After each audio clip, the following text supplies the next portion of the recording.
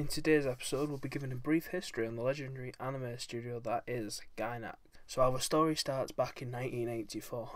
Not that 1984, but the 1984 where Gainax was created by a group of university students and was originally called Daicon Film.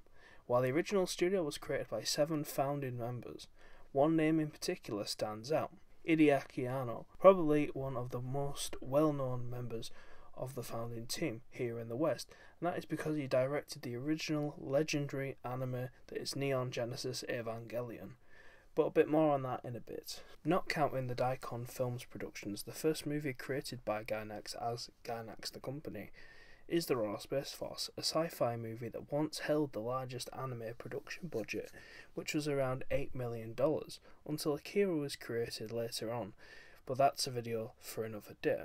The first TV series, or first TV anime, created by Gainax was Nadia, The Secret of Blue Water, an anime about an orphan acrobat who meets an inventor and they have to save the world because some agent evil. That's a very loose plot of the show, but I don't want to give too much away. The second TV show that Gainax ever produced is probably the one they are most famous for, and probably the one you've definitely heard of, and that is Neon Genesis Evangelion.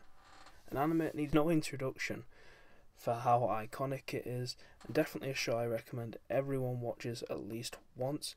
It's a show that has stood the test of time.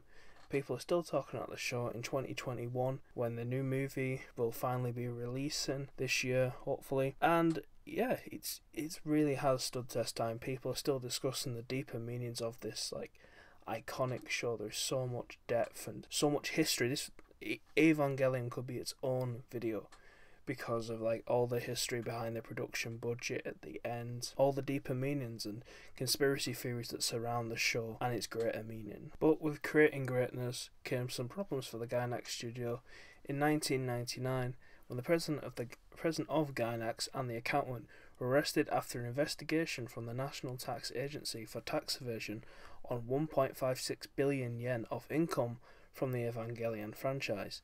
The reason for this, although not being within the law, was to keep the studio going in the future, because at the time they didn't know how long the profits from Evangelion would last and it and how it would keep being a success. But unfortunately, this wasn't the last legal issue that surrounded the Gainax studio. The studio would soon face a problem in 2016 when they were sued by Studio Khara, Hideaki studio, a studio that Hideaki founded and is best known for creating the rebuild of the Evangelion movies. The reason for Studio Khara suing Gainax is for royalties not being paid to the studio for the works that Anno had created while he worked at the Gainax company. But thankfully, Gainax kept making anime, and some of their more notable shows would be their 20th anniversary production of Diebuster, a prequel to the Gun to the Gunbuster franchise some of the most notable shows that I would recommend you watch from the Gainax catalogue other than Evangelion are FLCL, a legendary six episode OVA, which is a coming of age story about a guy named Nodo, Nodo, Nado, Nado, I don't know how you say that. But, anyways, whose life is um, basically interrupted by Haruko, a Vespa driving maniac who hits him in the head with a bass guitar, and the story goes from there. Certainly one to watch just because it's fun. It's, a, it's an anime you can either analyse or you can just sit back and just have some mindless fun.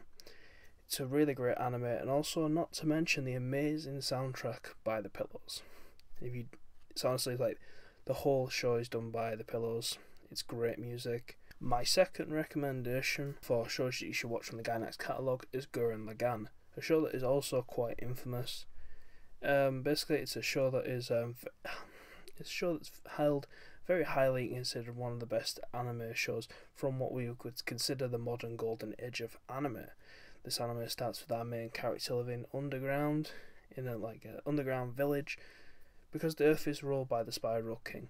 Our, our protagonist, Simon, is encouraged by his brother's gang, which wants to achieve their dream of reaching the surface. And the story goes from there. Lots of good animation, lots of iconic um, like visuals, characters, and some nice quotable lines from the show. So my final recommendation from the Studio Gainax catalogue would be one that is um, doesn't like anime specifically because of the art style, but that is Panty and Stocking with Garterbelt, a show that revolves around two angels who are kicked out of heaven for bad behaviour and have to earn heaven coins to get back into heaven. This show uses a more non traditional art style compared to most anime in the Gainax catalogue and has more of a western like art style cartoon vibe. So if you were not actually to know this was a anime who it was made by you you could actually pass this off as a like a western cartoon, but don't let that deter you. It's a really good show. More of an adult show with like adult humour and stuff, but definitely recommend. It's funny as hell. Um yeah, and that's everything for this episode, guys. It's kind of just a pilot. But anyways, thank you for watching. There will probably be more. Just uh, need to, you know, define the format. I don't want to make this just about like studios. I just want to make this maybe about like show histories or creators or you know like trends that have even happened through anime history. So things like maybe like magical girls, isekai anime. Thank you for watching. Um, please subscribe and like. Also, follow us on our Facebook page, join the Facebook group, join the awesome Discord community, and even give us a like on Instagram or a follow on Instagram. So, thanks for watching, guys.